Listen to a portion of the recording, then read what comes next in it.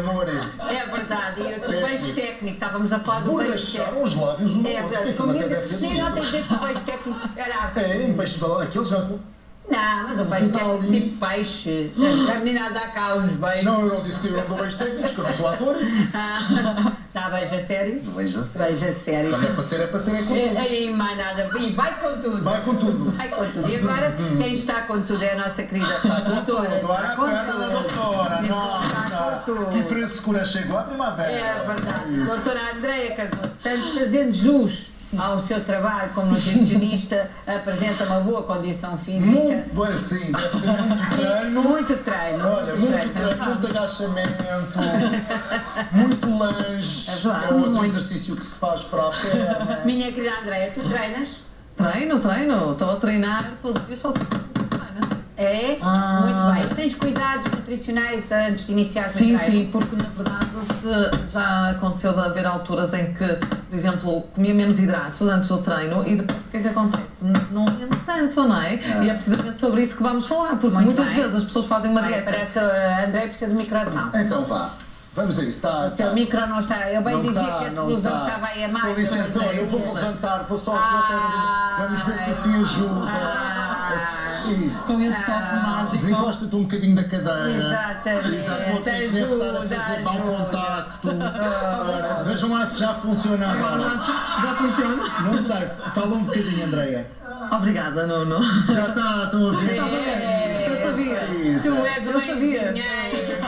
é. Senhor engenheiro. Basta um toquezinho de medidas, que maravilha. É verdade. Obrigada. Então dizias tu, para voltarmos à conversa, que antes de iniciar um treino é preciso termos alguns cuidados para mesmo. podermos aguentar o treino. Treino. Muito pois, exatamente, porque muitas vezes as pessoas têm determinados planos alimentares ou uma dieta que estipulam, mas depois não adaptam ao exercício que praticam. Então nós temos que adaptar ao tempo que vamos estar a fazer exercício, à modalidade que estamos a praticar. Mas mesmo dentro da mesma modalidade, há especificidades de acordo com a pessoa, de acordo com a massa muscular que tem, de acordo com a massa gorda, de acordo com os objetivos que pretende atingir. Portanto, temos que adaptar tudo isso. Então, se vamos fazer um treino que seja de endurance, aqueles treinos de resistência, É que isso normalmente. mesmo que eu preciso, porque ah, eu, bem, estou a falar por mim, mas acho que falo por muitas Com pessoas. esse corpo. Não, há muitas pessoas que, por exemplo, agora vão fazer, vão a pé a Fátima, precisam Ah, estar isso. preparadas. Sim. É um treino de endurance. De isso mesmo.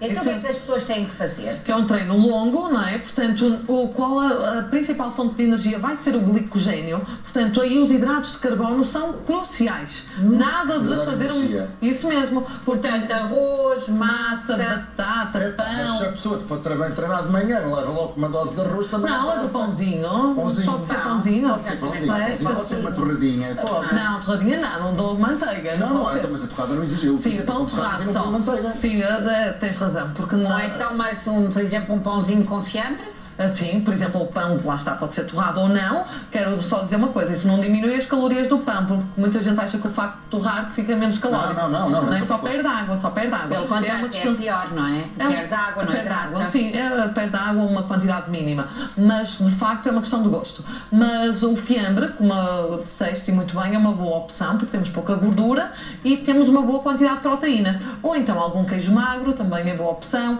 Agora, uma coisa que é importante é não comerem coisas com muita gordura antes do exercício. Estamos a falar de leite, de iogurtes, de queijos. Isso, queijos gordos, ou então se estamos a pensar, por exemplo, num almoço em que alguém vai treinar às 5 da tarde, esse almoço não pode ser algo com muita gordura, porque vai dificultar o esvaziamento gástrico. Nós, se precisamos de comer, é para os nutrientes estarem disponíveis, então têm que sofrer a di- a digestão para depois passarem para a corrente sanguínea. Se eu como algo difícil de digestão, naturalmente que não vai ter, não vai estar disponível o substrato energético no momento que eu vou precisar dele. Portanto, se eu for, por exemplo, jogar pádel às 5 da tarde, fazer exercício às 5 ou às 6 da tarde, Tens- não convém comer uma grande feijoada. Isso mesmo, almoças por volta da uma da tarde E e convém, eh, convém almoçares algo que tenha, por exemplo, eh, canja, que era uma coisa que era muito comum em alguns atletas, até nos dias de jogo. Hoje em dia está mais que provado que não é um bom. gordura, Isso é? mesmo, por causa da gordura. Portanto, não é uma boa opção, eh, mesmo para aquelas pessoas que, por exemplo, vão fazer,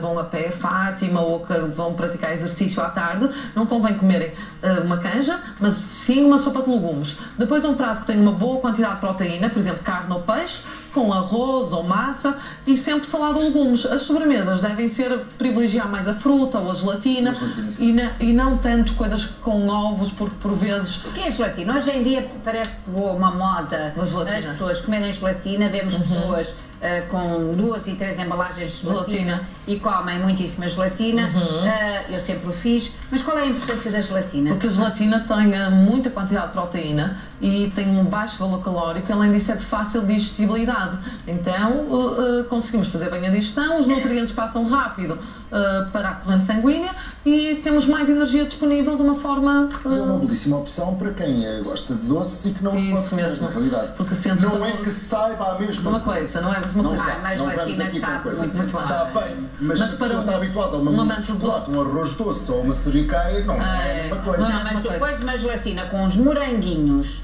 e, por exemplo, só muito simples, pões gelatina num prato, pões uns morangos por cima e muito simples, pegas num suspiro muito pequenino, suspiro mesmo pequenino, e esmigalhas o suspiro por cima, só um toque pequenino, daqueles pequeninos esmigalhas, vais ver que Já dá um toque diferente, dá não um é? toque Ah, dá. diferente e é como E se se a pessoa for tivesse- Isso, Ah, e o suspiro é uma boa opção para o treino. Porquê? Fala Porque é disso. feito com claras eh, e as claras têm só hum, proteína e depois tem um bocadinho de açúcar para não ter mal nenhum para quem vai treinar, Sim. não é? Portanto, é uma opção saudável. cozinha que eu te vou dar receitas simples de fazer em 5 minutos que são maravilhosas. serenidade de suspirar por É, receitas é porque eu É faço coisas em 5 minutos maravilhosas. Ah, é porque são É práticas, isso é o É segredo, sim. não é? É Uma rapidez e de facto a nível nutricional para isto do pré-treino, por exemplo, era, um, era uma sobremesa possível num dia de um treino até intenso. Portanto, tens uma, pões umas, tiras uma gelatina para um pratinho, fica bonito, pões moranguinhos à volta, e fica depois bonito. suspiro. E esmagas o suspiro, fica maravilhoso. suspiro. É,